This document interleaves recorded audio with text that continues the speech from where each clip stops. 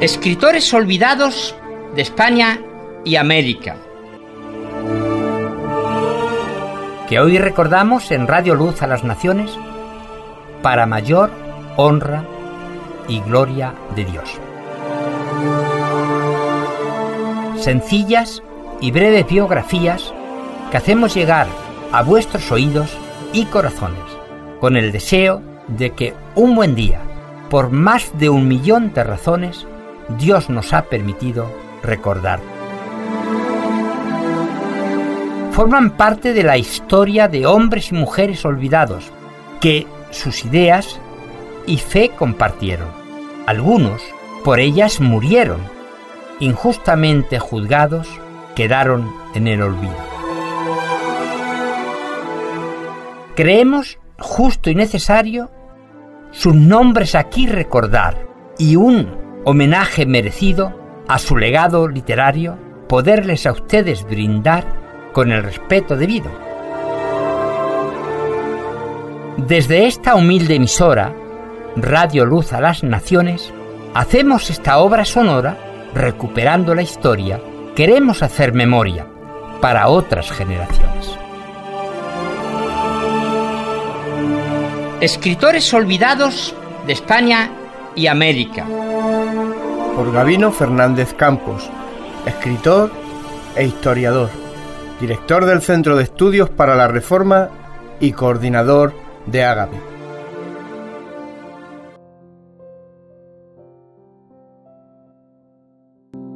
Hola, queridos amigos y oyentes de Europa, de América y desde cualquier lugar que el Internet nos permite llegar a vosotros. Hemos estado en el programa anterior haciendo un resumen, una crónica de estos ya más de 70 programas y confesamos, y tenemos que seguir haciéndolo, que no son muchas las autoras que traemos para vuestro conocimiento o para reforzar los conocimientos que ya tenéis de la contribución de las mujeres a la literatura evangélica, es decir, la aportación femenina en este programa que en la voluntad de Dios queremos seguir adelante. Y esto es verdad, se podría mm, hacer una investigación, de hecho hay estudios, de que según más atrás en el tiempo, pues es menos eh, la presencia de las mujeres en la literatura en general. También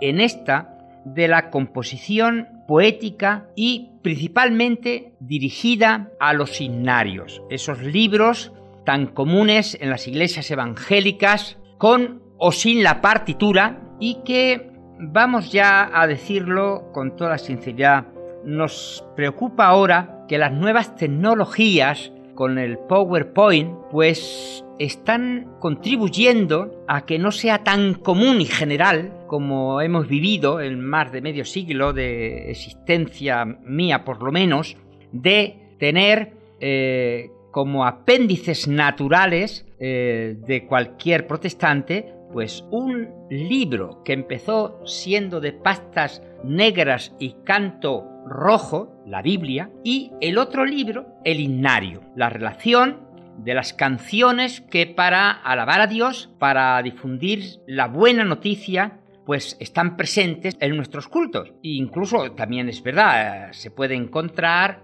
editados conjuntamente la Biblia y el himnario. Es verdad, repito, que esto ocurre en otras áreas de la literatura y desde luego nosotros ahora comentamos que así está demostrado en esta serie de biografías de escritores y escritoras olvidadas u olvidados de Europa y América. Hoy os vamos a presentar a una mujer, Isabel, o si debemos decirlo en su forma original ya que era inglesa, Elizabeth Loren. Ella nació allá por el 1861 en Inglaterra y llegó a España tras proclamarse la libertad religiosa concedida con la revolución que destronó a los monarcas de la Casa de Borbón. Su poesía, en inglés, en castellano y en catalán, se puede encontrar desperdigada en numerosos himnarios, tanto de España como de Hispanoamérica. En un himnario llamado Himnos y Cantos del Evangelio, publicado en Argentina, allí por ejemplo tenemos dos de estas composiciones. Vamos a retomar el asunto cuando hablemos en el segundo programa que le dedicaremos, si Dios quiere, a sus escritos, pero ya para que vayáis gustando un poco de esta poetisa olvidada, os adelanto un poco lo que es el número 28 y el número 231 que escribió Isabel Loren. El que viene en el número 28 empieza así. Cuán dulce en los oídos del triste pecador la voz de Cristo suena, su amante Salvador. Ven, alma trabajada de penas y dolor, descarga en mí tus culpas, tu angustia y tu temor. Este es el texto de la primera estrofa y ahora vamos a conocer la primera estrofa del 231 titulado Ved que acercándose el día va. Ved que acercándose el día va en que el Señor en su gloria vendrá a recoger en su alfolí lo que sembramos en tanto aquí. Él, su fruto, recogerá. Sí, su fruto recogerá. Jorge Loren, el padre, llegó a España como misionero en 1863. No existía la libertad religiosa y con mucha cautela y riesgo empezó con otros compañeros misioneros a difundir la Biblia por una España que en esa época todavía no había conocido la libertad religiosa y las comunidades en distintos lugares del territorio peninsular, como también especialmente en Menorca de las Islas Baleares, de forma clandestina se reunían. Se hizo imposible permanecer más de dos años. Así que en 1865, perseguido por la policía, desde Madrid, donde ha iniciado su trabajo, busca el norte y pasa de nuevo a las Islas Británicas. El contacto directo con los españoles, su religiosidad, su intransigencia, pesaron en él, pero no cambió la respuesta que ya en el 63 había dado a su Señor y Maestro Jesús. Así que tan pronto se declara la libertad religiosa, de nuevo entra en España, ahora ya para difundir la escritura. Elizabeth, pues es una niña, pero con su madre y otros hermanos se presentan después de una estancia de nuevo en Madrid, en Barcelona. Allí había congregaciones clandestinas eh, iniciadas por Francisco de Paula Rued, catalán, y más tarde por Manuel Matamoros, andaluz. Y él va a trabajar en la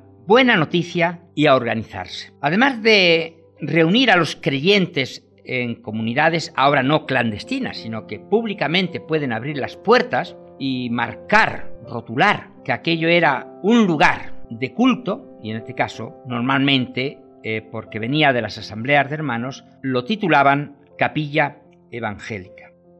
Además de lo que era la predicación del Evangelio en las reuniones y en las campañas públicas, tanto en Barcelona como en otros lugares de Cataluña y también de la península ibérica, él inmediatamente funda varias escuelas, escuelas primarias. Tiene interés también en la difusión de esta buena noticia por medio de la prensa. Así aparece un semanario titulado la Aurora de Gracia y para los niños una revista que conocemos como La Estrella de Gracia. Naturalmente los que no conocen el, asunto con muchos detalles pues piensan que es un título interesante, es ese don generoso, gratuito, universal e inmerecido del hombre que Dios tiene para rescatar al pecador. Eso es la primera referencia que para nosotros tiene la palabra gracia. Curiosamente,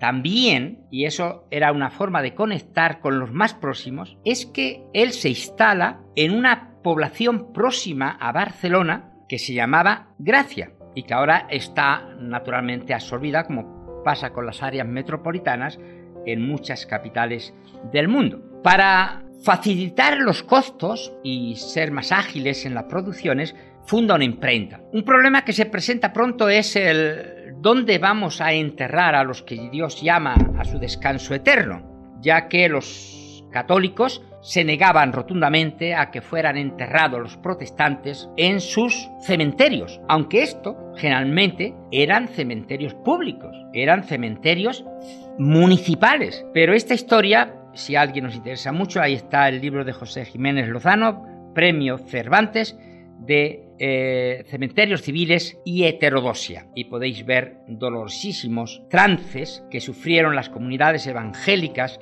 por esa intransigencia del clero católico. Elizabeth se formó para ser maestra y así ejerció en Barcelona, en Caldes de Montbui, provincia en el interior, y también más tarde como profesora de inglés en Sabadell. Con ocasión de su fallecimiento en el año 1922, una revista mensual, El Evangelista, que se publicaba allí en Barcelona y que apareció durante casi medio siglo, cuenta así, y eso nos va a servir para terminar esta parte de resumen de la vida de Isabel Loren en un documento que muy pocos conocen y menos tienen a mano. Después del título de Fallecimiento, dice literalmente, tenemos que anunciar la partida para estar con Cristo de otra fiel e incansable obrera en el campo evangélico de España, la de doña Isabel Loren, acaecida el día 7 del mes pasado, es decir, de febrero del año 1922. Convertida a Dios en edad temprana, se dedicó con todas sus fuerzas a servir al Señor en toda la obra de su padre, don Jorge Loren, quien vino a España con su esposa, doña Sara, pocos años antes de la Revolución de 1868, cuando Matamoros y sus compañeros habían sido desterrados de España por causa del Evangelio. La revolución citada dio la completa libertad religiosa de que don Jorge y otros se valieron para establecerse en diferentes centros donde comenzaron obras evangélicas. En todo esto, la joven doña Isabel demostró un vivo interés que no ha decrecido desde aquellos días hasta la hora de su fallecimiento a la edad de 60 años.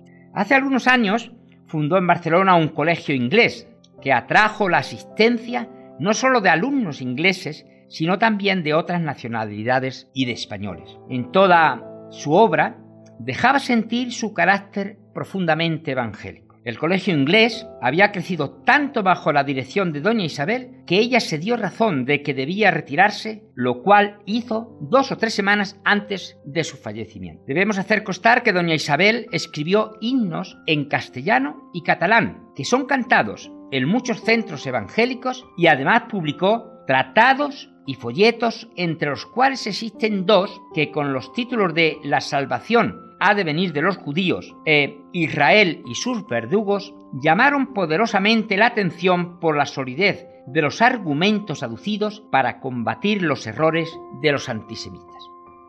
El día 2 se halló algo indispuesta, poco a poco una especie de sueño se apoderó de ella hasta que perdió el conocimiento. Y así, sin agonía ni dolor, durmió en Cristo, como quien ha acabado su trabajo del día y se echa a descansar en esperanza de despertarse por la mañana. Así descansa nuestra amiga con Cristo. El entierro tuvo lugar en el cementerio protestante de Barcelona, cuando en consonancia con el tono de la vida de la difunta, se leyó el pasaje de Romanos 3, 10 al 24, donde el apóstol declara la ruina completa de nuestra raza, sin excepción alguna, y la imposibilidad que nadie se salve a sí mismo para venir luego a declarar la perfección de la salvación que hay en Jesucristo para todo aquel que reconoce su propia condenación y acepta la justificación gratuita que hay en Cristo Jesús. Se recordó a los presentes que no hay razón ni lugar para emplear la consabida frase descanse en paz, puesto que todos los que mueren en la fe de Jesucristo siguen la palabra de San Pablo al partir del cuerpo están presentes con el Señor, en plena gloria suya. Como parte del culto, ante la tumba abierta, se leyó el himno comienza, Grata nueva Dios proclama. cuya autora era nuestra hermana en Cristo. La premura del tiempo, pues atardecía, no nos permitió cantar más que tres estrofas del himno con su coro. En otra página, nuestros lectores podrán leer todo el himno. Nuestra simpatía va a los numerosos parientes de la afinada, quienes lloran tan sensible pérdida.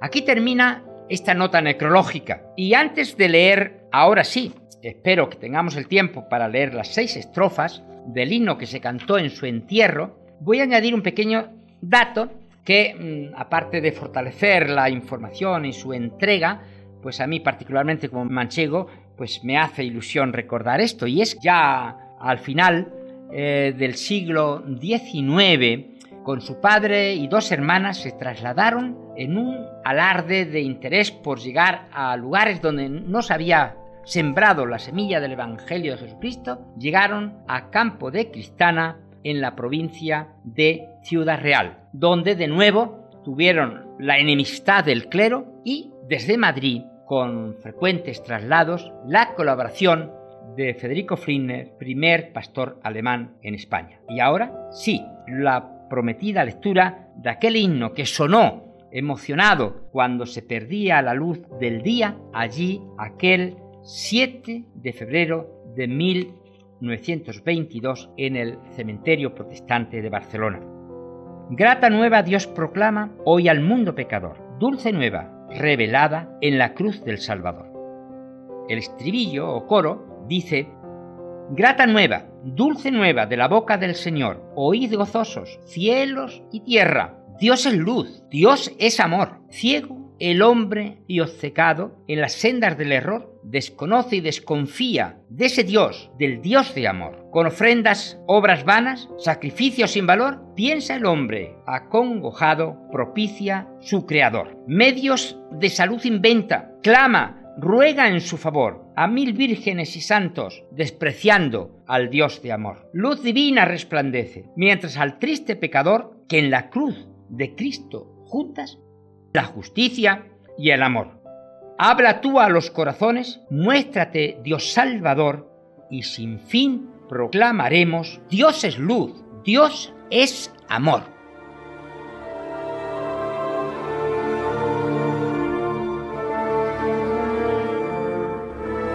Escritores españoles olvidados que hoy recordamos en Radio Luz a las Naciones para mayor honra y gloria de Dios.